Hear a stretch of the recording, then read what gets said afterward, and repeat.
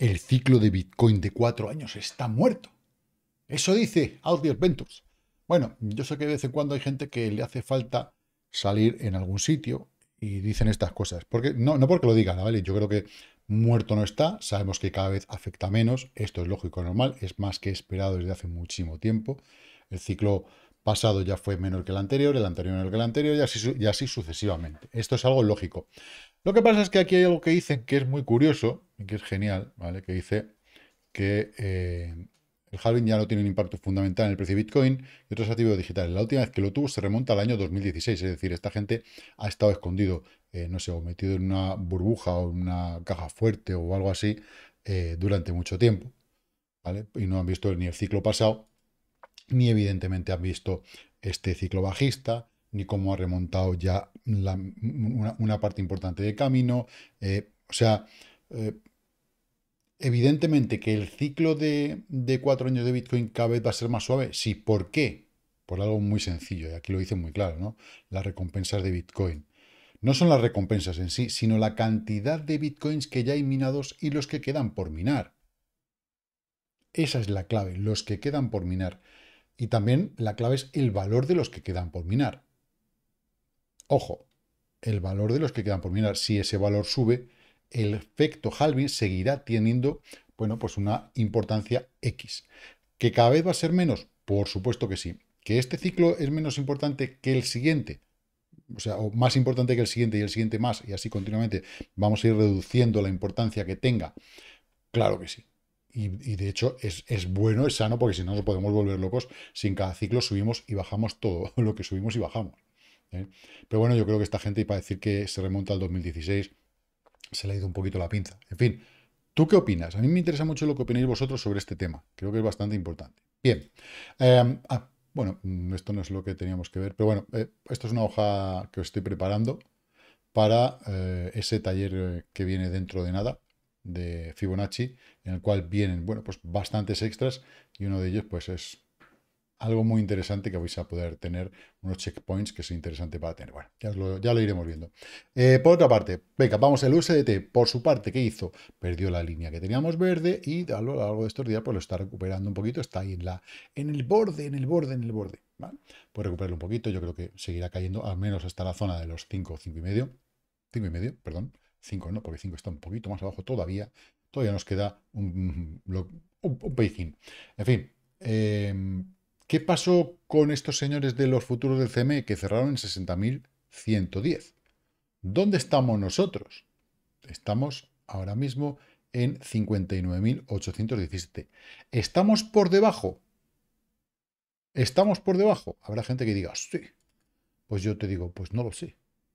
Pero para estar por debajo no tenemos que mirar este precio, que sí, que también, ¿no? Más o menos tener una referencia. Lo que tenemos que ver es cuando cerraron estos señores, ¿vale? Aquí, en esta velita de las 22.00 hasta las 23, ¿dónde estábamos nosotros? ¿Dónde estábamos nosotros el viernes eh, a las 22.00? Aquí, justo, justo en el punto en el que nos encontramos ahora. Con lo cual, no hay gap. El gap es cero. No existe gap. ¿Sí? tenerlo muy, muy en cuenta, porque eh, mucha gente me dice, no, es que, pero si estábamos en 59 eh, había un capa al alza, no, no, no. ¿Dónde estábamos nosotros cuando ellos cerraron? Aquí, ¿no? Pues es el sitio que nos corresponde, estar ahí. Y por eso, bueno, pues ya estamos en la ronda, en la zona, estaremos aquí rondando un poquito eh, la zonita para ver qué narices quiere hacer Bitcoin. ¿Qué puede ser que quiera hacer Bitcoin? Ay, pues hombre, personalmente yo creo que eh, tenemos que observar mm, dos cositas. ¿Dónde está el RSI nuestro? Ahora el 50% en una hora. ¿Dónde está el de los futuros del CME? Todavía no ha llegado a la parte superior. Eso es bueno. ¿Dónde está el de 4 horas? Todavía le falta chicha. ¿Dónde está el de diario? Llegando a la zona del 50% RSI, que eso ya lo estuvimos viendo. Con lo cual, ¿impulso queda? Sí. ¿Ganas de subir? Sí. ¿Sentimiento del mercado de subir? Sí, porque si no, no hubiéramos estado todo el fin de semana así, haciendo esta castañita. Entonces, es probable que vayamos a intentar romper la línea de puntitos que es el 50% del canal que fuimos a tocar, pues posiblemente podamos ir a intentarlo. ¿Quiere decir esto que lo vayamos a lograr? Oye, pues yo no soy rapel, pero tiene pinta de que al menos hasta esta zona verde que tenemos aquí, 61 y medio, podemos llegar con cierta facilidad. Luego ya veremos. luego ya veremos lo que pasa. Pues claro, mm, hemos tenido una carrerita aquí interesante y una carrerita en la cual hay que retroceder. Que hemos tenido aquí una primera caídita, luego volvemos a subir, consolidación, subimos, consolidación. Bueno, bueno, para mí sería ideal una caída al menos a 58, pero yo qué sé, a mí no me hace caso Bitcoin, decirle vosotros algo. En fin, eh, está bastante bien, ¿no? La cosa está bastante bien. Yo creo que soporte mm, muy corto plazo, 58 y medio. Eh, menos corto plazo, 56 y medio. Plazo ya estamos en 53, más o menos, ¿vale? Resistencias, 61 y medio. Bueno, primero el 50% del canal, evidentemente que está rondando los 60 y medio, 61 y medio después, y luego ya estaríamos en la zona de 64 y medio. Siguiente resistencia, ¿vale? Así que bueno, tenerlo en cuenta y ya cada uno pues que obre en consecuencia de estos datos si a alguien le interesa. En fin, eh, ¿qué pasa con el total market? Pues el total market, mm, de momento, igual, lo he dicho, en la misma línea del canal 50%, ahí está paradito, esperando a ver si rompe en favor de estas dos líneas que tenemos aquí, en torno a 2.11 y 2.16 trillones americanos. Vale, eh, la dominancia de Bitcoin durante el fin de semana, el viernes cerró a tope, sábado, bueno, un poquito paradilla, y hoy vuelve otra vez al alza. ¿Y cómo está la dominancia de los demás, de los competidores importantes? Pues la del USDT subiendo un poquito, ya lo hemos visto, y USDC un poquitito también. Entonces, un poquito de cada uno, pues hace que las altcoins se hayan comportado de una forma más bien planita a lo largo del fin de semana. Alguna ha hecho algo, pero poca chicha. Y ahora que retrocedan un poquito, imagino que será lo que están haciendo. Vamos a las altcoins. ¿Qué pasa con ellas? Bueno, Polis está aquí retrocede un poco. Vamos a ganadoras, perdedoras. Y en la parte de perdedoras tenemos, bueno, pues a esto no son altcoins, aquí Pares USD. Tenemos, va, aquí, aquí no, aquí, en la parte de perdedoras. Esto es. Los cortos de Bitcoin que caen un 54. 54. Señores, al 50% del canal. ¿Esto por qué es? ¿Por qué pensáis que está ahora en este momento haciendo esto? Ojo con esto, ¿eh? Mucho ojo con esto. Se están deshaciendo posiciones de futuros en corto.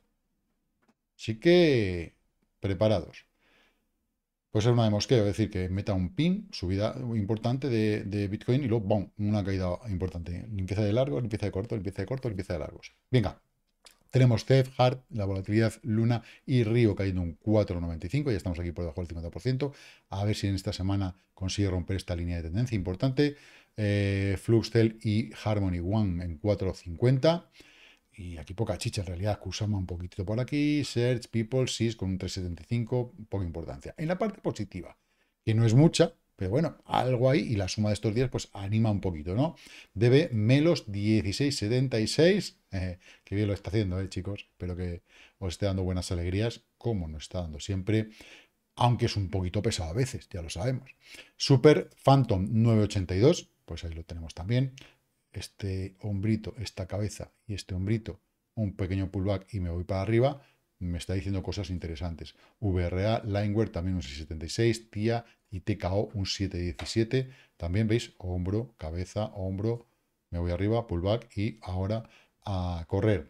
Es la pinta que tienen, su y tres cuartas de lo mismo. No voy a andar eh, haciendo la misma, el mismo movimiento sobre todas. FIAR, LSS, Cirrus, HNT, ¿vale? Un poquito más rara, porque tiene un hombro aquí, una cabeza aquí y otro hombro aquí. Eh, AVE, Tita, 286, yo creo que bastante claro también. Eh, la cuestión es que el mercado les dé permiso para seguir. Rune, tres cuartas de lo mismo, yo creo que se ve bastante claro.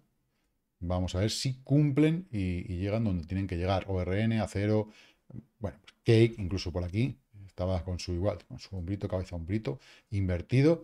Así que bueno, Tron, ¿Qué pasa, Tron? Bueno, pues 1.15, ahí sigue. Eh, está de los, de los mejores desempeños que hay a lo largo del ciclo. Está siendo Tron súper constante, súper constante, está siendo muy, muy bueno.